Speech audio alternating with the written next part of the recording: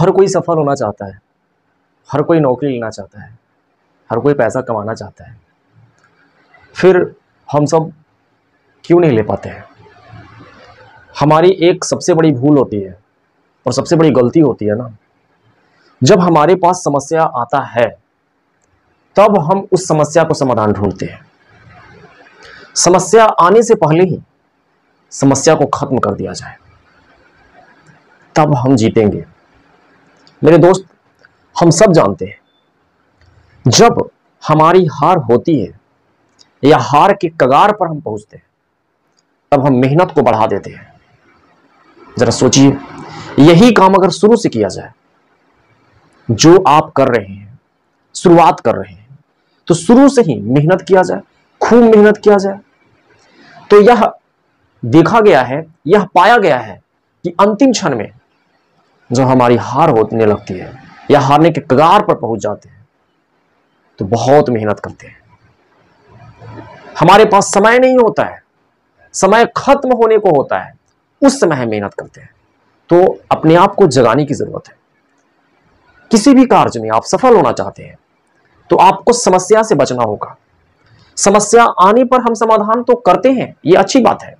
समस्या आ गया, समाधान करेंगे। परंतु हमारी यह कोशिश होनी चाहिए कि समस्या आए ही नहीं। समस्या को रोक दे, तब हम सफल हो पाएँगे। जरा सोचिए, जब आप हार जाते हैं तो हारने के बाद कई प्रकार के आप ऐसा कार्य करने की कोशिश करते हैं, जिससे फिर से जीते। सोचिए कि आपको कितना मेहनत करना पड़ता है।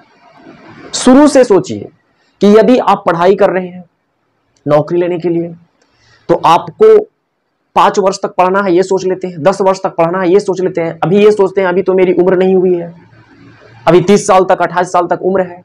तो ये सोच करके हम पढ़ाई नहीं करते हैं। हम यह सोचते हैं, हमारे पास समय है। और यही समय हमारे लिए एक समस्या बन जाता है। तो कई प्रकार से, कई रूप में समस्या आ सकते हैं। है ना? जैसे कुछ हम गलतियाँ कर रहे हैं, पढ़ाई हम नहीं कर रहे हैं। तो जब पढ़ाई आप नहीं कर रहे हैं तो नौकरी आपको कैसे लगेगा? नौकरी की आप आशा नहीं कर सकते हैं। फिर नहीं लगता है जब नौकरी, जब हमारे रिज़ल्ट नहीं होते हैं, तब हम रोते हैं। तो रोना तो बेवकूफ़ी है। एक बात और ध्यान रखा जाए कि हम अपने आप को खरखा मानते हैं। किसी और की बात सुनना नहीं पसंद करते हैं। सोचिए, जब हमारे पास कोई समस्या आता है तो उसका समाधान हम खुद सोच लेते हैं, ढूंढ लेते हैं। और कभी कभी हम दूसरे से सिर्फ़ नाम मात्र का राय विचार करते हैं। और यदि वह विचार हमारे अनुरूप ना हो तो हम उससे झगड़ भी जाते हैं, लड़ जाते हैं, मनमुटाव कर लेते हैं। हम बेवकूफ़ हैं। ऐसा कार्य कभी ना करें। आप, आपसे भी लोग ज़्यादा ज्ञानी हैं, आपसे भी ज़्यादा लोग जानकार हैं, फिर आप अपने आप को खरखा समझ रहे हैं? अगर किसी भी दिशा में कार्य कर रहे हैं और अपने आप को खरखा समझिएगा तो आप कैसे सक्सेस हो पाइएगा? आपको ज़रूरत है आपको बहुत चीज़ों की ज़रूरत है, किसी की राय की ज़रूरत है, विचार करने की ज़रूरत है, किसी की बात मानने की ज़रूरत है। क्योंकि आप किसी भी क्षेत्र में कार्य कर रहे हैं तो उसका अनुभव प्राप्त तो नहीं है। शुरुआत किए हैं और जो कर रहा है, उसको एक अनुभव प्राप्त है। तो आपको उन उन लोगों की बात मानना होगा, सुनना होगा, समझना होगा। और खुद से ही अपने आप को यह नहीं सोचना होगा कि इसका समाधान यह है। ठीक है, आप सोचिए, बहुत अच्छी बात है। लेकिन अपनी जो समस्या है, उस समाधान पर अड़े मत रहिए कि इसका समाधान यही हो सकता है। अगला जो कह रहा है, वो गलत है। कभी कभी कुछ बच्चे तो उससे झगड़ बैठते हैं।